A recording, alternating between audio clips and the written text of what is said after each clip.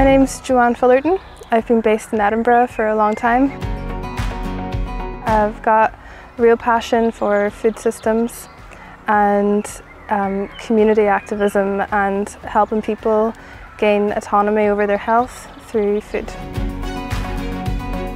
I first got involved with the Veg Advocate programme through my involvement with Nourish Scotland. Peas Please project incredibly successful. It's been fantastic. On one side we have our work with the pledges, but what we're here to talk about really is about the Veg Advocate programme. And we knew across the nations we had to build up a, an army of, of food activists who were looking in their communities at how to remove the barriers to accessing veg and increasing the accessibility to veg, just where they are and how we can link those people together and learn from each other across the nations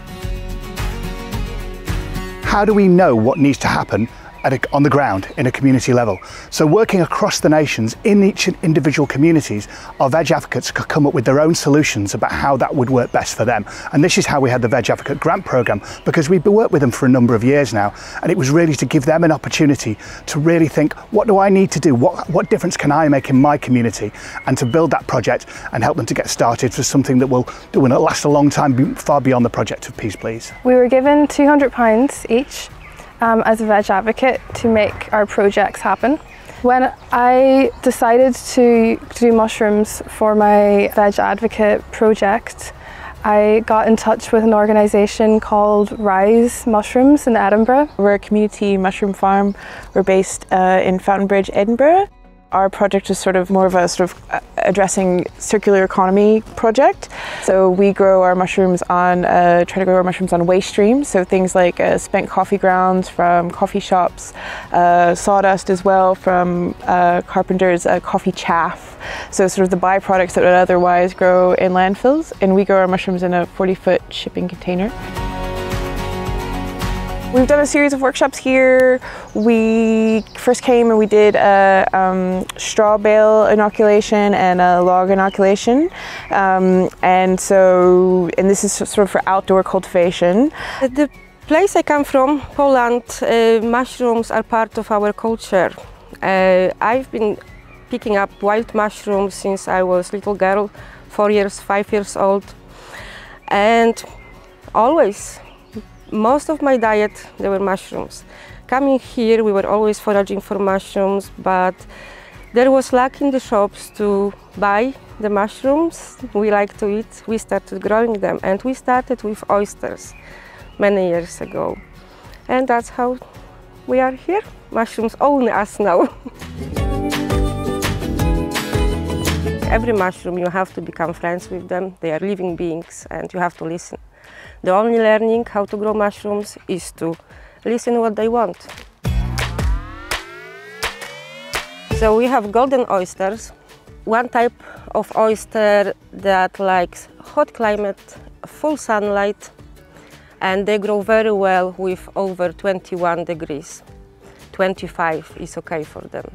They grow very fast, but they are not often seen in the shops because they are the most fragile mushrooms you can ever get a tasty, beautiful, fruity flavor. Next, we have pink oysters. Those, again, are exotic species. They don't grow in UK, native, and they like hot temperatures. This is not for food, can't be eaten, it's quite tough like a wood, but in Chinese medicine uh, it's been used for thousands of years as a powder, uh, as a tea for people to support immune system and has a name in China as the mushroom of immortality. For a log inoculation, you want to drill holes in the log about a fist, fist length apart. And then you take one of these myceliated plugs and you bash it in and then you cover it with wax and that keeps like the birds and the bugs away so they won't get eaten by birds the, you know, the little pl plugs won't get pecked at by birds. It takes about six months to a year. So what happens is the mycelium from the plug will then begin to spread across the log. They call it colonization, but we've tried to move away from that term for obvious reasons, and so we call it myceliate or myceliation. Um, and it will, you know, spread throughout the log. And what it, what mycelium does, like the mushrooms that we eat, they're decomposers. So it's decomposing the log. The log is like the food, they're primary decomposers. So once it sort of runs out of food, or you know, is fully sort of taken over and like eaten as much of the log as it can, um, it will, that takes about six months to a year.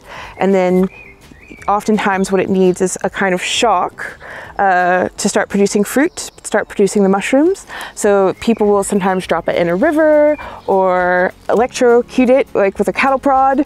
Um, or, you know, if you leave it long enough uh, that then they'll fruit, but you know, just kind of giving it an artificial shock will, will speed it up. Because fungi is such an integral part of our ecosystems, they're so important to our health and they play such a vital role in helping plants grow and they're the connective tissues of our ecosystems and it's our relationship to ecosystems that mirrors our relationship to food and our relationship to health. We're understanding that looking after our soil is key because that is where you get the nutrition from. We, we never somehow link the vegetables with the nutrition, what's in the soil. But if we don't put the nutrition back into the soil, then we're not getting it in our vegetables. All our food comes from soil, even meat comes from soil. So without healthy soil, we don't have any healthy food.